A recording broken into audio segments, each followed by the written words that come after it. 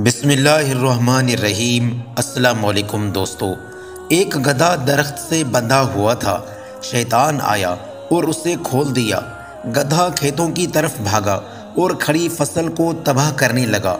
जब किसान की बीवी ने यह देखा तो उसने गुस्से में गधे को मार डाला। गधे की लाश देखकर गधे का मालिक बहुत गुस्से में आ गया और किसान की बीवी को गोली मार दी।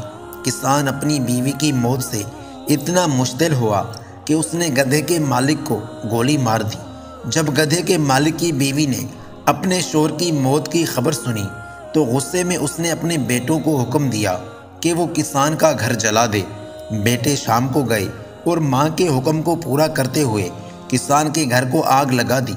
यह सोच कर के किसान भी घर में जलकर मर जाएगा, लेकिन ऐसा नहीं हुआ। किसान वापस आया और गधे के मालिक के तीनों बेटों और बीवी को कत्ल कर दिया।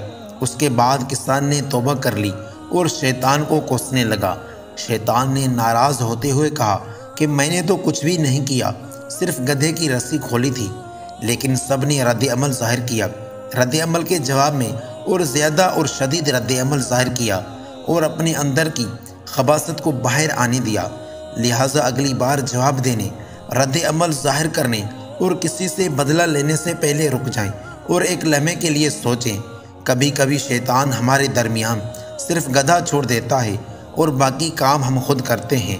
याद रखिए, टूटना आसान है, जुड़े रहना बहुत मुश्किल है। लड़ना आसान है, दरगुजर करना बहुत मुश्किल है।